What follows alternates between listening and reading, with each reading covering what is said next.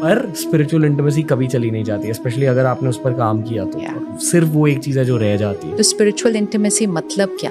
Spiritual intimacy मतलब संस्कार आपके एक दूसरे से मिलते हैं। What is spiritual spiritual means I the soul connecting to another soul इसीलिए कहते हैं ना सोल मेट सोल मेट का मीनिंग क्या है? So and so is my soul mate तो soulmate is not just a partner anybody can be a soul mate जिसके साथ आप एक सोल कॉन्शियसनेस के साथ रिश्ता एक्सपीरियंस करते हैं way that relationship is not based on role position materialistic achievements it's just a soul connecting to another soul जहाँ पे एक्सेप्टेंस है एम्पथी है मतलब बॉडी कॉन्शियस नहीं है ईगो कॉन्शियस नहीं है। You are in to a soul to soul connection अगर सोल टू सोल नहीं होता है तो हम कहते हैं ईगो क्लैश हो रहा है। इनका ईगो उनके ईगो के साथ क्लैश हो रहा है। So opposite of ego clash is soul to soul connection तो जितना मेडिटेशन करके आप सोल कॉन्शियसनेस को प्रैक्टिस करते हैं, आपके रिश्ते चेंज हो जाते हैं।